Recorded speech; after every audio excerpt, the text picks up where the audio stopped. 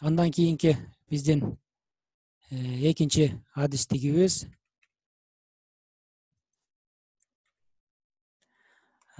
шифри жети жүз он эки жүз информациялык системалар жана технологиялар ИСТ адистигинин ИСТЕ деген профили информационный система и технологии в экономике деген адистик бул кыргызчасы экономикадагы информациялык системалар жана технологиялар деген адистик программалоо кафедрасында ушул эки адистик бүтүрүүчү адистик катары программалоо кафедрасы кызмат көрсөтөт бул адистиктерде азыркы актуалдуу болуп жаткан санариптештирүү багытындагы кадрлар даярдалат экөөндө тең азыр өзүңүздөр билесиздер мына акыркы эки жылдан бери өлкөнү санариптештирүү жылы болуп атат өлкөнү санариптештирүү жылы болгонуна байланыштуу көптөгөн санариптик технологиялар санариптик программалар санариптик көптөгөн пландар киргизип атат өлкө аймагында техника технологиялар өнүгүп атат демек ал техникалык технологияларды камсыздоодо адис жетишсиз болуп атат бизде кандай адистик программисттер айтишниктер экономист программисттер жана башка ушул сыяктуу айти технология багытындагы адистер жетишсиз болуп турат демек ошондой адистер менен камсыздоо максатында бизде ушул ош мамлекеттик университетинин мид факультетинде программалоо кафедрасында ушул эки адистик боюнча иш алып барылат. Эми пафтас адистиги бүтүргөн бүтүрүүчү кандай иштерде иштей алат деген суроо туулушу мүмкүн. Азыркы көпчүлүк мына болочок студенттерде болочок кадрларда башкача айтканда мектептеги он биринчи класстын бүтүрүүчүлөрү кесип тандоо учурунда ушундай суроого такалышат мен кайсыл окуу жайга кайсыл адистикке тапшырсам кандай кадр болуп чыгам деген суроо өтө актуалдуу суроо болуп турган учур болот. Ошол учурда бул пафтас багытыны бүтүргөн адис кандай жерлерде иштей алса болот. Өзүңүздөр экрандан көрүп тургандай эле ошол айти компьютери бар ишканаларда инженер программист. Изилдөө борборлорунда программист аналитик прикладдык программист системалык администратор инженер электронщик информацияны коргоочу программист бул дагы актуалдуу адистердин бири болуп эсептелинет. Азыркы ошол санариптештирүү өнүккөн учурда информацияны коргоо бул. Негизги мааниге ээ демек пафтас адистигинде ошол информацияны коргоочу программист деген дагы артыкчылыкка ээ болот. Ишканаларда башкы программист программалык жабдуу боюнча башкы адис маалыматтар базасынын администратору берилгендер базасы информациялык эсептөө бөлүм начальниги эсептөө техникасынын ремонттоо мастери жана башка эң жөнөкөйү компьютердик класстардын мисалы үчүн мектептеги компьютердик класстардын лаборанты оператору болуп иштей алат бул пафтас адистигин бүткөн бүтүрүүчүлөрүбүз ал эми биздин экинчи адистик ИСТ адистигин бүтүргөн бүтүрүүчүлөрүбүз кандай кызматтарда иштей алат демек исит адистигин бүтүрсө жанакы пафтат адистигинен айырмаланып ИСТЕ информационный система в экономике. Экономика аймагындагы информациялык системалар болгондуктан кошумча экономикалык дагы билимдерге билгичтиктерге ээ болот башкача айтканда экономист программист деген орундарда штаттык орундарда иштесе болот жанакы пафтастан айырмаланып андан кийин информациялык системаларды азыр мисалы үчүн ишканаларда баардыгы санариптештирилип компьютер аркылуу жүргүзүлүп жатат да. Ошондо бухгалтерия один эс бухгалтерия банк системаларында ар биринин өзүнүн программалары иштеп иштетишет. Ошол программаларды иштетүүчү адис болуп чыга алышат. Андан кийин банк системаларындагы компьютердик программалык жабдууларды жана башкаларды башкаруучу адис болуп чыга алышат информациялык эсептөө бөлүмүнүн экономисти эсептөө системасынын кызматкери жана башка ушул сыяктуу кызмат орундарында иштей алат бул адистигин бүтүрсө так эми бул адистиктер айти технология багытындагы адистиктерге киргендиктен ушул биздин ош мамлекеттик университети эки миң он экинчи жылдан бери шостун шанхай кызматташтык уюмунун мүчөсү болуп келатат.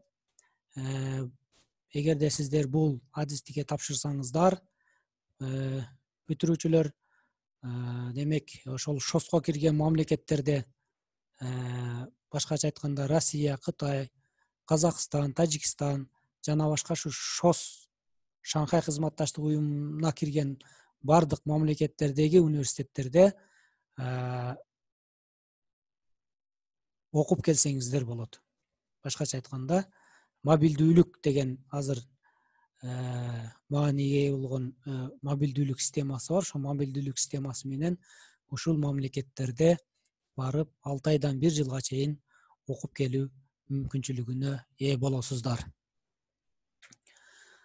Андан кийин бул эки адистикте тең эки баскычтуу билим берүү системасы иштейт. Бул факультетте бул эки баскыч тең бар. Эки адистикте пафтас адистигинде дагы исте адистигинде дагы ушул эки баскыч тең бар. Башкача айтканда кабыл алуу бакалавриат билим берүү баскычына да жүргүзүлөт. Төрт жыл окуйт. Андан кийин бакалавриат бүтүрүүчүлөрүн магистратура билим берүү кесиптик билим берүү багытына дагы кабыл алуу уюштурулат. Демек магистратурада эки жыл убакытта окушат ошону менен ушул исте пафтас адистигинин магистри деген дипломду алып чыгышат.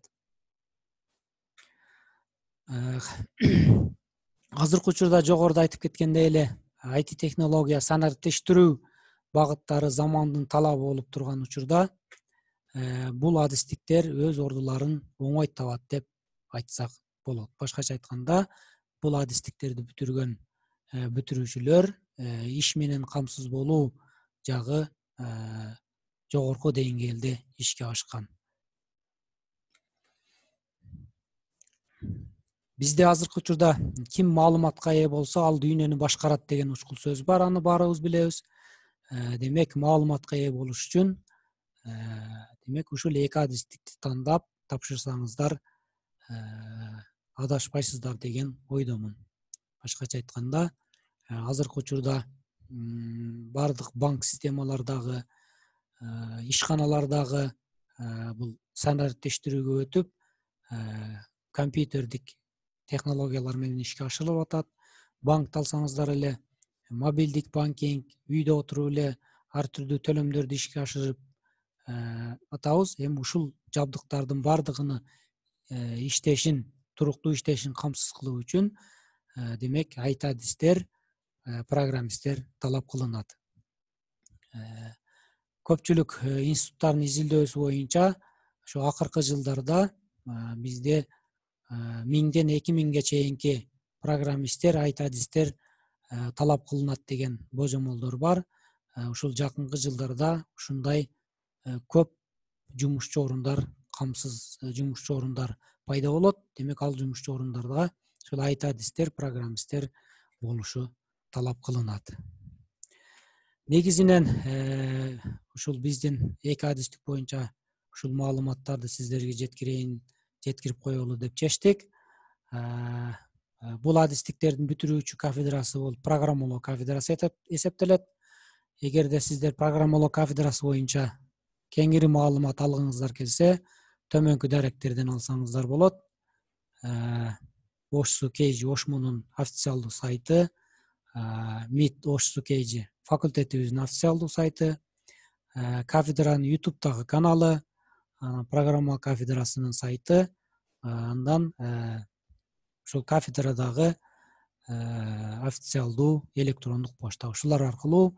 маалымат алмашсаңыздар болот деп айтабыз анда адистик боюнча негизги мен берейин деген маалыматтар ушулар мен өзүмдү тааныштырып кетсем ушул программалоо кафедрасынын башчысынын милдетин аткаруучу аркабаев нуркасым кылычбекович азыр эми дагы менин кесиптештерим дагы бар азыр бул конференцияда сурооңуздар болсо азыр талкуу болот ага чейин мен ушул кафедранын мурдакы кафедра башчысы физика математика илимдеринин доктору профессор атакымжан сопуевичка сөз берсем агай дагы өзү сөздөрүн айтса сиздерге кеңеш кеп кеңештерин берсе деп берет деп ишенемин агай анда сөздү сизге берсем микрофонуңузду жандырып алыңыз рахмат саламатсыздарбы саламатсыздарбы урматтуу кесиптештер урматтуу студенттер мына бүгүн чоң масштабта ушул жогорудагы айтылган адистер боюнча маалыматтарды алдыңыздар бүгүнкү күндөгү абал бүгүнкү ушул коронавирус жөнүндөгү ушул абал жогоруда айтылган ушул ивт жана ист адистиктеринин өтө актуалдуу экендигин дагы бир жолу далилдеп койду да мына азыр баардыгыбыз үйүбүздө отуруп эле бири бирибиз менен баарлашып пикир алмашып маселелерди чечип атканыбызды көрүп турасыздар туурабы? Ошондуктан мен айткым келет ушу сиздер ушул тандап алган адистик информатика жана эсептөө технологиялары информациялык системалар жана технологиялар деген адистиктер бүгүнкү күндө өтө бул актуалдуу адистиктер болуп эсептелет. Мына бүгүнкү абал мына ушуну далилдеп отурат да эгерде сиздер ушул адистиктерди бүтсөңүздөр кесипке ээ болсоңуздар дайыма ишиңиздер болот жана ушул биздин өлкөбүздөгү керектүү адистиктер болуп саналасыздар да эми ушул адистиктин адистик жөнүндө толук маалыматты мына агайыңар нуркасым кызбекович айтып кетти мен эми кошумчалап айтаарым ушул сиздер ушул адистикти тандоо менен туура кылгансыздар бул адистикке ээ болуу чындыгында оңой олтоң болбойт ал үчүн көп изденүүлөргө изденүүлөрдү көп китептерди көп программаларды өздөшүшкө окуп өздөшкө туура келет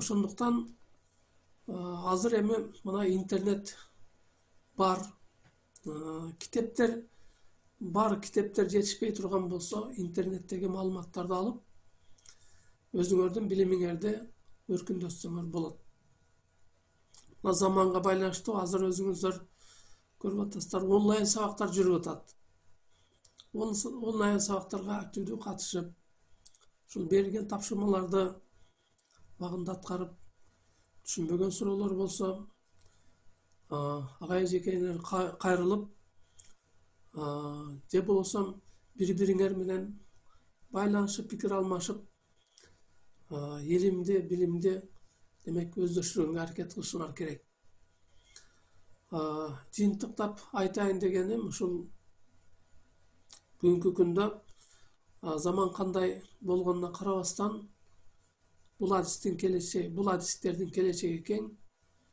бул адистерди бүткөн адамдар востребованный болушу мына бүгүнкү абалдагы далилдеп турат бирок ушул адистик боюнча жакшы демек адис болуш үчүн көп иштешибиз керек. Мына азыр биринчи модулду тапшырып бүтүп калдыңар алдыда экинчи модулдун материалдары турат семестрдин аягында жыйынтыктоочу экзамендер болот ал эми бүтүрүүчү курстар болсо мамлекеттик экзамендерди тапшырат ушул бакалавр адистигин окуп жаткан студенттер төрт жылдан кийин кааласа ишканаларга барышы мүмкүн иштеге иштеп иштеп кетиши мүмкүн же болбосо дагы эки жыл магистратурада окуп өзүнүн билимин андан ары улантышы дагы мүмкүн ошондуктан мен учурдан пайдаланып силерди баардыгыңарга чың ден соолук каалайм ушул окуу процессинде демек көп көп адабияттарды окуп өз алдынча интернет тармагына чыгып жакшы терең билим алганга аракет кылсаңар деген сунушумду айтмакчымын рахмат рахмат агай анда талкууга өтсөк ушул адистиктер боюнча ош муну ош мамлекеттик университети боюнча факультет боюнча э, башка адистиктер боюнча сурооңуздар болсо э, берсеңиздер болот.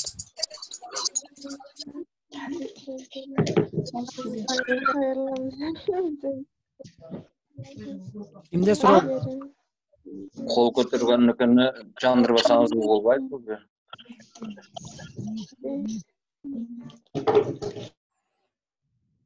сурооңуздар болсо кол көтөрсөңүздөр микрофонуңуздарды жандырайын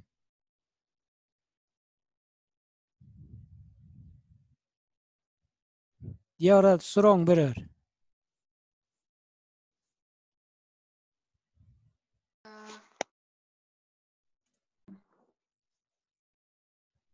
бере бер сурооңду я хотела вот спросить вы не планируете добавить э, факультет экономики, э, то есть планируете, да, на следующий год? Или э, вот будущее на, две, на два года?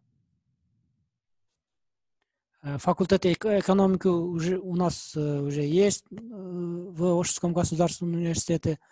Uh-huh. Вот есть там свои специальности. Я, я сейчас покажу вам. Вот видно, да? Так. Сейчас. Да. Где у нас факультет? Вот, факультет бизнес и менеджмента, вот, видите? Там есть финанс, кредит, бухгалтерский учет, экономика предприятий и так далее. Все вот специальности есть. А можете вот э, есть, дать э, чуть подробнее об этом? Сколько надо учиться, сколько год понадобится, какие там эти финансовые еще? Э, мы сейчас рассматриваем только вот эти две э, специальности по автосе информационной системы в экономике. Э, у нас в бакалавриате э, 4 года учеба, магистратура плюс 2 года. А, значит, а, баллы там какие там? Вот. А, баллы, когда ОРТ начинается, вот, вот там будет видно. А то есть Потом. есть там вот эти а, бюджетные места, да? Да, у нас э, по ВТАС и СТ есть бюджетные места. А, а вот э, в экономических направлениях бюджетных места нету. А по, по экономике, значит, нету, да? Да, да, нет. А, значит, получается, это, по финансам, сколько надо еще платить за год, за год? Финанс, кредит, э, точно не знаю, э, где-то 30-35 тысяч в год. спасибо. Мгм. Ага айта бериң А, мен мына диаранын а, сөзүнө кошумча айткым келип атат диара адистикте окуйт экен Ме- мектепте да мектеп бүтүрүүчүсү а мектептин бүтүрүүчүсүбү Мм. А, мен кыргызча айтсам түшүнө бересиңби Ооба түшүнөрүм.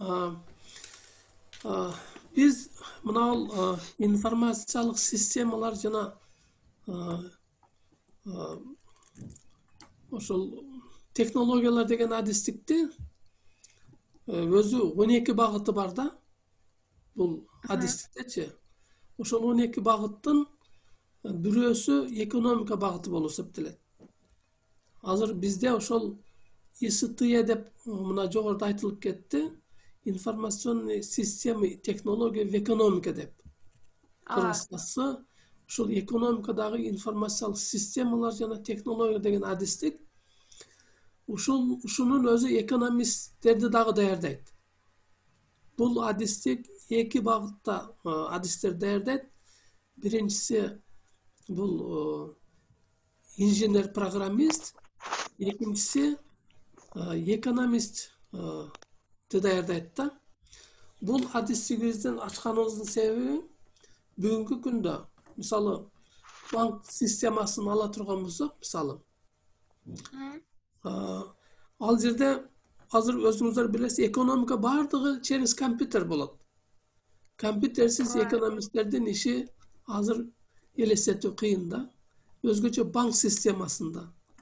Buna бир жерден акчаны экинчи жерге которуш үчүн жа компьютер аркылуу болуп атпайбы туурабы ошондуктан биз байкап көрсөк ушул экономисттер компьютерди өтө жакшы билиш керек экен мына бим деген факультетти бүткөндөр экономика адистиги боюнча бүткөндөр көпчүлүгү ушул компьютердик технологияны жакшы билбей банкка ишке барганда кыйналып атканын байкадык да. А банк системасынын жетекчилери айтып атат экономисттер дейт компьютерди билбейт экен дейт. А программисттер келсе дейт экономиканы түшүнбөйт экен дейт. Бизге ушул два в одном болсо жакшы болот эле. Экономиканы да түшүнгөн компьютерди да билген адис болсо бир адиси экөөнү тең билсе жакшы болот эле деген сунуштарды айткандан кийин биз ушул адисти ачканбыз да ошол информационный система технология в экономика деп бул адистиги бүткөндөр демек биринчи кезекте программист болот анан экономист дагы болот да биздин бүтүрүүчүлөрдү мына байкап көрө турган болсок дээрлик бир сексен токсон проценти ушул экономика тармагына ишке кирип атат мисалы ош шаарында дагы ондогон ушул банк системалары бар. Ошол жерге барсаңыздар биздин бүтүрүүчүлөр ошол жерде иштеп атканын көрөсүздөр. Ошондуктан эгерде экономист болом десеңиз ошол информационный система и технология в экономика деген адистикти тандап окусаңыз дагы востребованный адис болосуз деп айтмакчымын да рахмат Э, рахмат агай А, Рахмат. дагы кимде суроо бар кол көтөрсөңүздөр А, анда азыр сөз бизди сөздү ушу ош мамлекеттик университетинин математика жана информациялык технологиялар факультетинин деканы сөз сурап атат деканга дагы сөз берип койсок өзүнүн сөз кеп кеңештерин айтса сөз сизде анда уланбек адакымжанович саламатсыздарбы урматтуу кесиптештер мектептеги кесиптештер мектеп бүтүрүүчүлөрү. Э, менин атым сопуев уланбек мына нуркасым кылычбекович айткандай э, факультеттин азыркы мезгилдеги жетекчисимин. Э, эмне жөнүндө кандай сөз болгонун сиздер өзүңүздөр көп болдуңуздар. Дагы өтө маанилүү бир маалыматты дагы кошуп кетиш керек. Анткени биздин факультеттин дээрлик баардык адистеринде бюджеттик орундар бар. Э, ошол бюджеттик орундарга гранттык орунга кириш үчүн негизги тест тапшырыш керек. Андан сырткары кошумча тест. Математикадан тапшырыш керек. Жана физикадан дагы кошумча тестти тапшыра турган болсо бюджеттик орунга кабыл алууга мүмкүнчүлүгү бар. Анткени бюджеттик орунга кириш үчүн кошумча тест негизги тест бир жүз он баллдан жогору кошумча тест математикадан алтымыш баллдан жогору болуш керек. Ошондуктан дагы бир жери бар. Же математика же физика деген жери бар. Ошондуктан биз бүтүрүүчүлөргө ушундай сунуш берет элек. Кошумча тестти тандаганда математиканы дагы физиканы дагы сөзсүз тапшырып койсоңуздар плюс болот эле. Анткени математикадан эгерде положительный пороговый баллдан ашпай кала турган болсо физиканы дагы эсептеп бюджеттик орунга кирүүгө мүмкүнчүлүктөр бар. Э, жогоруда э, программалоо кафедрасынын башчысы айтып кеткендей э, бакалавриат төрт жыл магистратура эки жыл бар. Ошол адистер боюнча контракттары отуз бир миң алты жүз отуз эки сом. Быйыл дагы бул контракттарды жогорулатпай турган оюбуз бар.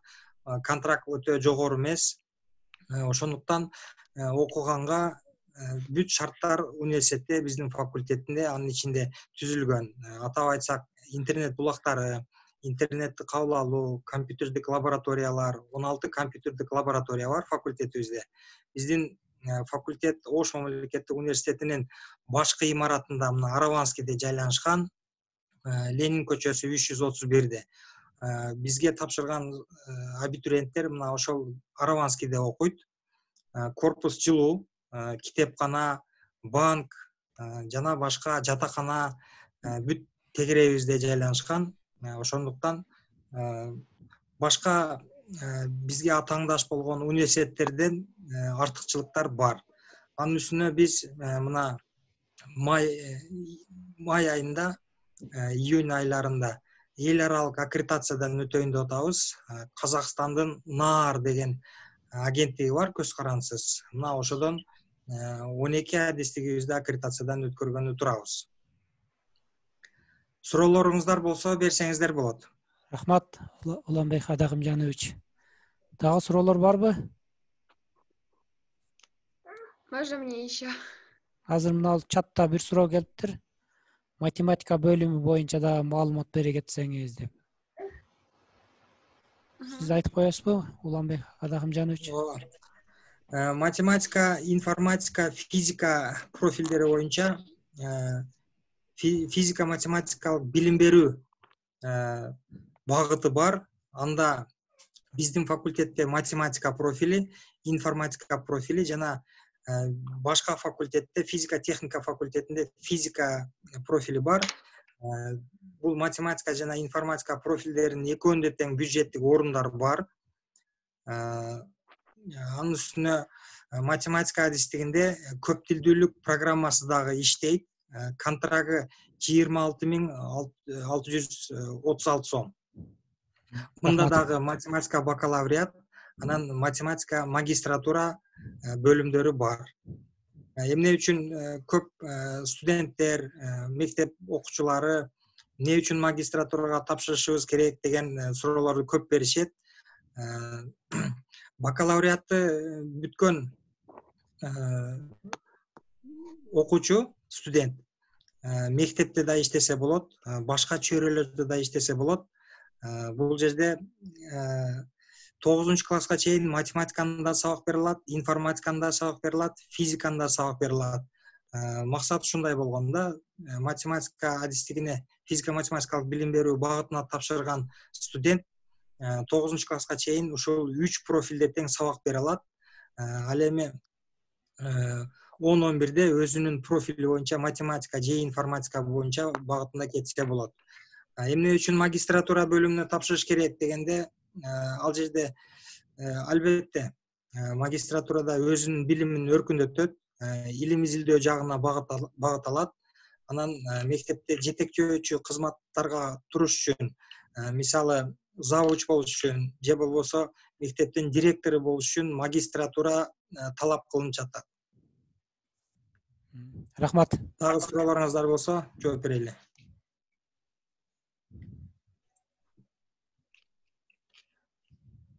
кимде сөз бар кол көтөрсөңүздөр жылдызбек баяман сүйлөй берсеңиз болот саламатсызбы саламатчылык могу ош мамлекеттик университетинде электрик адистиги барбы электрик адистик бар физика техника факультетинде бар физика техника деген факультет бар ошол адистикте бар азыр биз факультет кайсы жерде жайгашкан факультет ошо араванскийде жайгашкан ошмунун башкы корпусунун жанында башкы корпусунда дагы окушат азыр биз бул конференцияда ошмудагы баардык адистиктерди карап жетишпейбиз деген максатта ушул экиден үчтөн адистиктерди карайбыз бул конференциябыз мындан ары уланат мисалы үчүн бүгүн эки адистикти карасак эртең дагы адистикти ошо сиздерге кызыктуу болгон экономика адистигини Э, биология адистиги математика адистиги баардыгы ушул э, бөлүп бөлүп ушул конференцияларда каралат ушул конференциябыз мындан дагы уланат.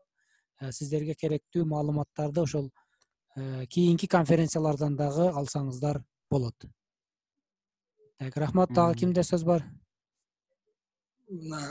Асыл электроснабжение боюнча бул физика техника факультетинде жайланышкан урматтуу бүтүрүүчү. Биздин э, жаныбыздагы факультет э, булар деле ошол башкы имаратта окушат электроснабжение деп аталат адистик азыр нуркасым кылычбекович мына конференциянын уюштуруучусу биз ош мамлекеттик университетинин буклетини сиздерге беребиз. Ал боюнча сиздер өзүңүздөр тандап ата энеңиздер менен кеп кеңешип анан тандоо жасайсыздар албетте. Э, жогоруда нуркасым кылычбекович айткандай э, ушул процесс эми мындан ары да уланат. Э, ар бир адистиктер боюнча конференциялар өтөт рахмат. Асылбек токуров.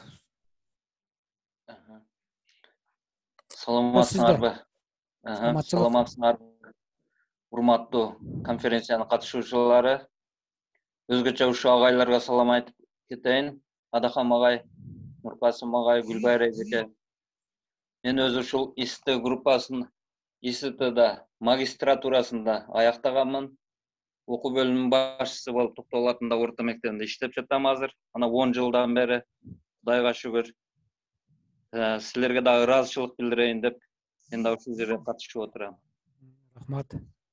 Рахмат.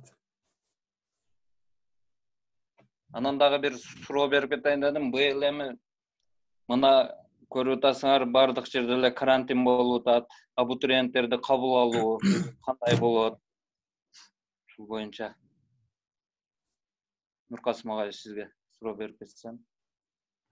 Декан уланбек ооба рахмат. Суроо үчүн э, биздин факультеттин э, магистратура бөлүмүнүн бүтүрүүчүсү рахмат сиздерге. Тынч болуңуздар. Э, суроо үчүн рахмат туура суроо. Бул жерде билим берүү министрлиги тарабынан орт жрт деп айтылат. Жалпы республикалык тестирлөө азыркы учурда эгерде карантиндин мөөнөтү ошол тест убагында бүтпөй кала турган болсо анда мектептерде жалпы республикалык тестирлөөгө каттоо электрондук түрдө болот. Аны э, сиздерге мектептен айтылат. Э, андан сырткары эгерде э, тест тапшыруу учурунда дагы карантин бүтпөгөн болсо анда жалпы республикалык тестке катышуу онлайн режимде болот. Ошондуктан мектеп менен тыгыз байланышта болуп туруш керек да.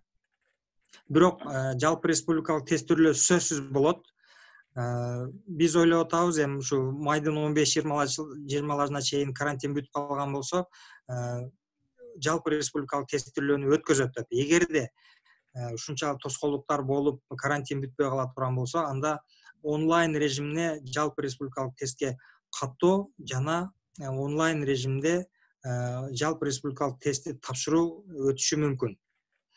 Биз ошого байланыштуу биздин мамлекеттик экзамендер дагы жылып калышы мүмкүн ал сентябрь айына чейин калбайт июнь июль айларында ушу мамлекеттик экзамендерди жыйынтыктайбыз деген ойдо турабыз э рахмат. Дагы дагы бир суроо менде ушул биз регистрацияны бүтүп банкка баардык немелерин төгүп койгонбуз бүтүрүүчүлөрдүкү эми эгерде боло турган болсо бул онлайн болот экен да анда. Ооба онлайн болуп калышы мүмкүн ага чейин кырдаал жакшырып калган болсо анда мектеп окуучулары ушу өзү март апрелде тапшырчу эле болбосо майдын аягында тапшырып калышы да мүмкүн рахмат. Рахмат дагы кимде суроо бар?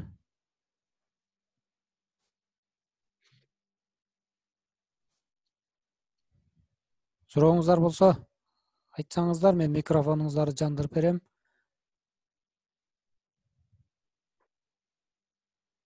Айзат райымбердиева.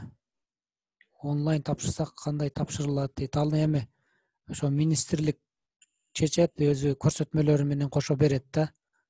Кантип кандай тапшырылат кандай жүргүзүлөт ооба бул жерде билим берүү министрлиги инструктаж өтөт вуздарга мектептерге ар бир ата энеге ар бир окутуучуга кантип тапшыруу жөнүндө маалыматты берет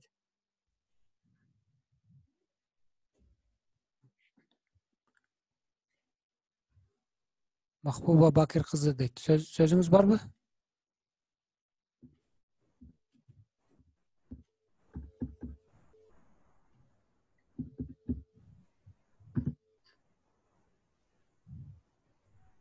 дагы кимде суроолоруңуздар бар топчубек суроо барбы ооба берсең боло берет э саламатсыздарбы урматтуу агай эжекелер жатыңыздар кутмандуу куш убак кечиңиздер менен менде төмөндөгүчө суроо узатмакчымын мына баягы жогоруда бир агай белгилеп кетти бизде физика математикалык жана информатикалык факультеттер бар деп айтып кетти анан мен ушул жерде бир суроону бермекчи элем мен өзү кесип тандап бүттүм медфакты бирок мындан сырткарыда так механика жана оптика факультетин тандайм деп чечтим эле ушуга кайсы сабактан тапшырсам болот кандай багыттар менен кандай жолдор керек ошол жөнүндө кичине кененирээк маалымат берсеңиздер жакшы суроо экен бул сиз азыр оптика болсо оптика деп атасыз да ооба оптика десеңиз анда сиз физика профилин тандашыңызга туура келип калат физика математикалык билим берүү физика профили ал үчүн сиз негизги тест кошумча физика сөзсүз болуш керек эгерде бюджеттик орунга кирем десеңиз ошон үчүн биздин сунуш негизги тесттен сырткары математиканы дагы физиканы дагы кошумча тестти тапшырып койсоңуздар. Эгерде физика болбой калса анда математиканы эсептей берет кабыл алуу комиссиясы грант комиссиянын мүчөлөрү. Чоң рахмат. Рахмат. Дагы? Аселгүл токтошова деген суроо берем деп атабы?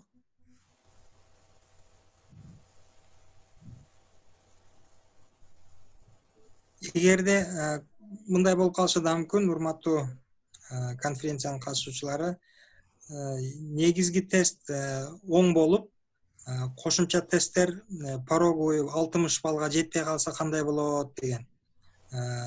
Албетте мында деле конкурска абитуриенттин катышууга укугу болот бирок контракттык негизде катышса болот андан сырткары биздин факультетте сырттан окуу бөлүмү да бар. Сырттан окуу бөлүмү дистанттык технологияларды пайдалануу менен деген.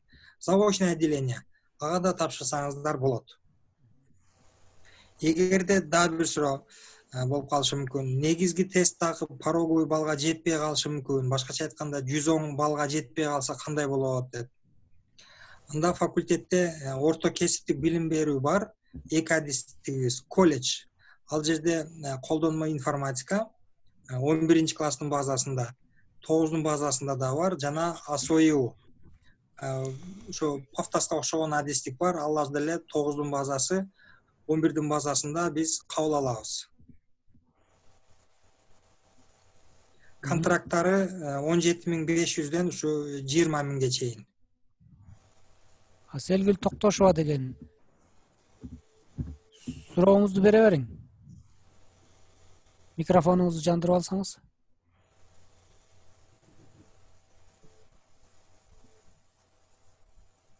Жанбай атат да дагы кимде суроо бар талкуу суроо болсо айтсаңыздар болот дияра суроо берем деген эле баягы нуркасым кылычбекович бере берсеңиз болот Вот, э, я видела вот эти вот э, вузы, российские вузы, даже хотела там дать документы подать, и э, я видела, там дается образование вот полностью, и вот это вузы зависит всего вот э, эконо- экономист, а у вас факультет, там тоже дается вот полностью образование или как-то чуть маловато? кадимкидей эле бакалавр образованиясы берилет А ошо мындай э, российский вуздага окшоп ушундай э, ошондой эле эме берет да туура образование ооба ооба одинаково Да, да, да. Ожский государственный университет э, является одним из э, флагманов э, южной части республики, та- сейчас уже э, в республике. А Ожский Мгм. госу- У нас э, образование такое же, вот 4 года это бакалавриат и 2 года магистратура. А После окончания бакалавриата э, дается квалификация бакалавриат по специальности информационной системы и технологии в экономике или э, ПАФТАС. И магистратура там тоже э, квалификация магистр. Давно как было? Э, давно по-другому было. Например, э, квалификация учитель математики или учитель информатики была. А в данное время э, дается квалификация только бакалавр по, по такому-то направлению или магистр по, по определенному направлению. А. Образование дается точно такое же, как и в Российской Федерации. Ничем оно не отличается. Наши выпускники э, работают, например, в Томском государственном университете, в Новосибирском государственном университете, защитились там э, кандидатские диссертации свои, э, постоянно приезжают к нам. Вот так. Хорошо можно еще следующий вопрос можно можно Можно. А, вот я еще вот хотела сказать, я видела, а, там дается полностью образование по всем предметам. И вот какие предметы там еще дается, или там тоже все одинаково еще? Э, Спасибо за вопрос. Э, Каждый вуз э, определяет рабочую программу по усмотрению по региону. Какие э, Ага. предметы требуются для данного региона, для данной области. Э, Вот поэтому рабочая программа основывается э, из учета потребностей региона. Вот поэтому э, вы хотите, например, спросить, да, э, например, некоторые предметы вы хотели бы изучать, но в Да. рабочей, э, в учебном плане нету. Для этого у нас есть дисциплины по выбору, то есть КПВ. Вот здесь студенту дается несколько тем в каждом семестре, несколько дисциплин. И студент выбирает, какую дисциплину он будет изучать в данном семестре. А Также э, из чего это берется? Есть индивидуальная траектория студента. То есть, если он э, на первом или на втором курсе, когда есть э, курсы по выбору, индивидуальную траекторию студент сам, сам себе строит с помощью адвайзера, то есть с помощью куратора. Куратор или наставник помогает студенту э, построить индивидуальную траекторию, то есть э, он э, помогает выбрать предметы на первом, на втором, на третьем, на четвертом курсах. То есть, если вы будете выбирать курсы по выбору на первом курсе, значит, соответствующую дисциплину вы должны выбрать уже на втором курсе, последующих. Это у нас э, называется постреквизит и пререквизит. Например, э, для информатики, например, возьмем. Э, Информатика является э, пререквизитом для, например, для языка Дельфи. а дельфи язык дельфи э, будет постреквизитом э, для э, предмета для дисциплины информатика А, спасибо. рахмат мына кроме жерде того э, кроме того э, мы у нас э, регулярно идут встречи с работодателями э, с руководителями организаций э, с их работниками э, по поводу того чтобы улучшить основную образовательную программу. То есть основная образовательная программа формируется с учетом потребностей наших работодателей. То есть, если, например, э, в каком-то банке, например, KICB или э, АКБ Кыргызстан скажут, э, ваши выпускники э, будет хорошо, если будут учить такие-то предметы, например, э, углубленно, например, бухучет или 1С предприятия, или еще какое-то моделирование какого-то, э, каких-то Ага. процессов. Э, Вот с этим, э, с учетом этих их предложений, э, мы можем включить э, в курсы по выбору эти дисциплины. Чат- Спасибо.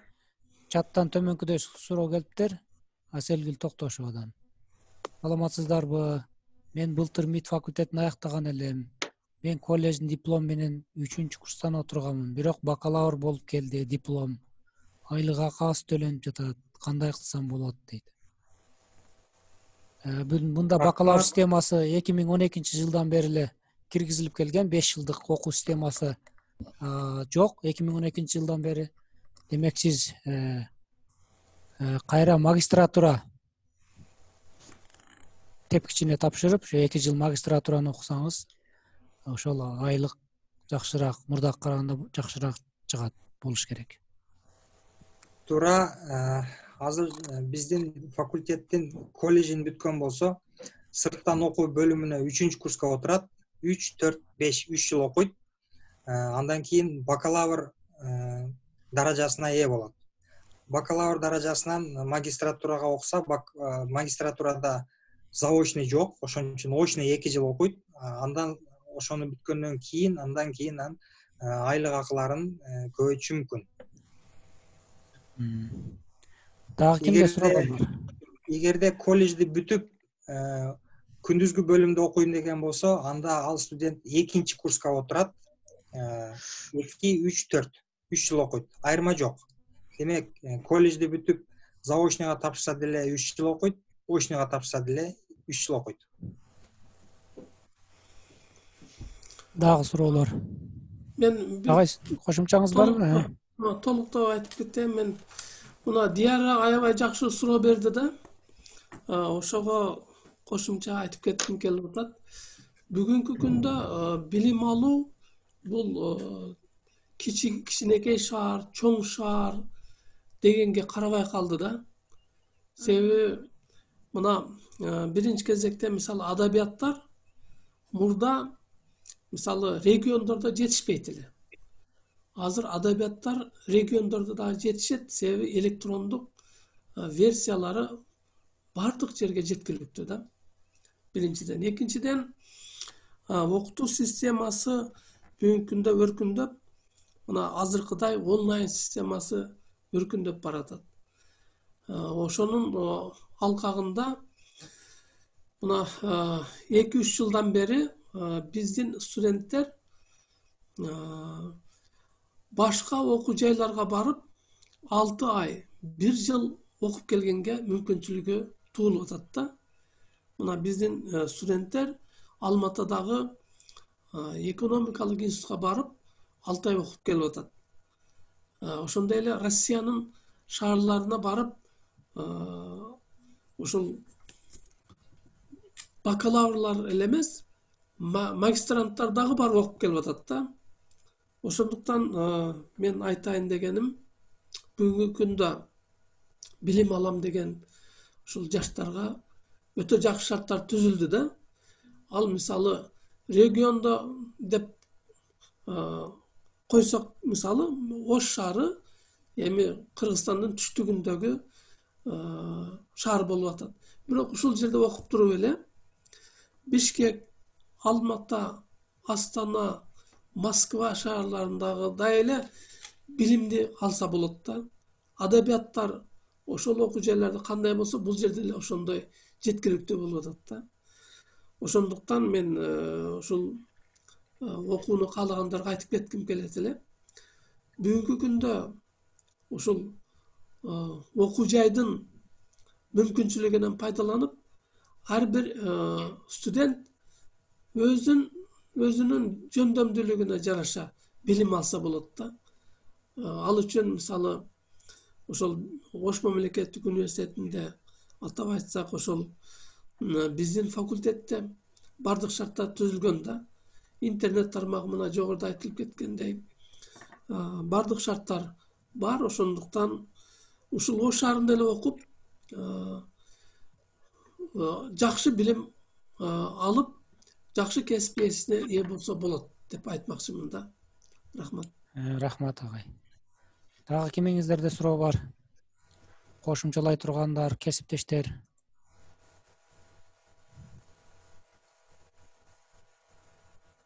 эгер ортдон жүз он балл алып кошумча сабак тапшыра албаса колледж болуп калабы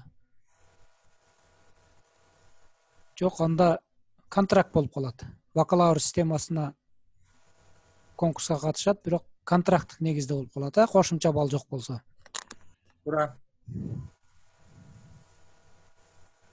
эгерде негизги баллы жүз ондон жогору болсо бирок кошумча баллы э, пороговый баллга жетпей калса анда контракттык негизге тапшыра берет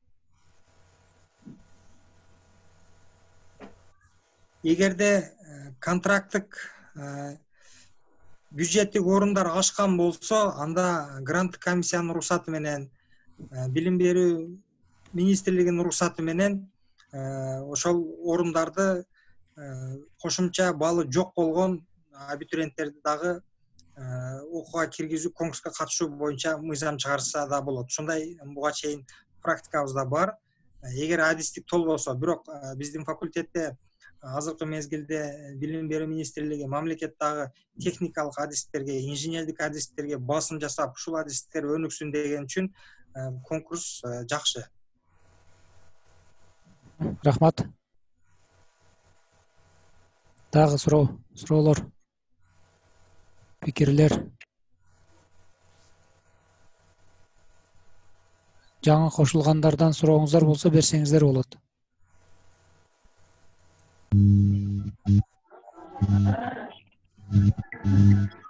Суроо барбы башка менде бир мындай толуктай турган нерсе бар эле айтып коеюн урматтуу бүтүрүүчүлөр мектепте иштеген кесиптештер математика боюнча консультация боло турган болсо физика боюнча консультация боло турган болсо биздин факультетке келип консультация алсаңыздар да болот эгерде математикадан жетишсиз болуп аткан болсо э, биздин э, агай эжекелерибиз бар. Э, алар ушул жалпы республикалык тестилөөгө консультацияларды өтөт. Азыр эми онлайн алып турат да? Онлайн болот да.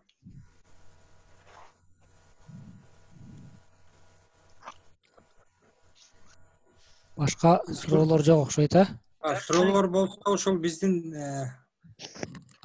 дареке кат жөнөтсөңүздөр да болот телефондорду алып алып чалсаңыздар болот нуркасым кылычбекович буклетти эртең таратайлы ушул азыр өткөн мен азыр ошмунун буклетин жөнөттүм баардыгыга жакшы факультеттикин дагы таратып койсок жакшы болот э макул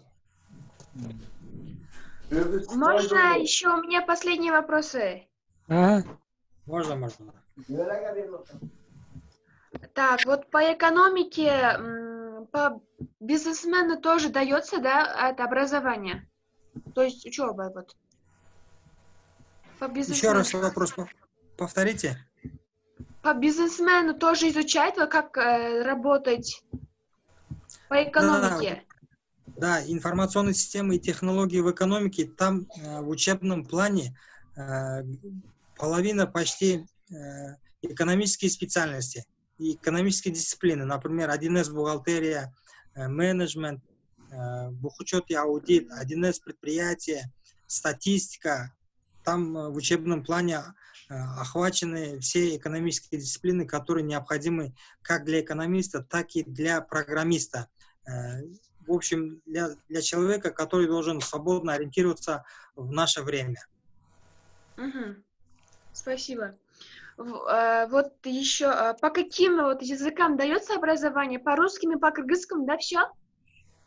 У нас на факультете э, преподается на русском и на национальном языке. Кроме того, мы в этом году хотим английскоязычную группу открыть по некоторым специальностям. А, Обычно на нашем факультете мы стараемся на первый курс по, каждому, по каждой специальности принимать по две, по три группы. То есть одна европейская группа, одна национальная группа. То есть и А. кыргызская группа, и русская группа будут. Значит, э, до, до того, как э, изучали только на национальном и на русском языках, да, ведь? Да, если вы э, учитесь в русской школе, значит, вам лучше будет сдавать ОРТ на русском языке. Русский язык А, нужно да. выбрать. Если э, человек учится в кыргызской школе, то он должен э, выбрать э, кыргызский язык, потому что определения, все правила по кыргызскому и на русском языках отличаются друг от друга. Вот поэтому Мгм. при вступлении, при вступлении нужно выбрать либо кыргызский, либо русский язык, кто какой язык лучше знает.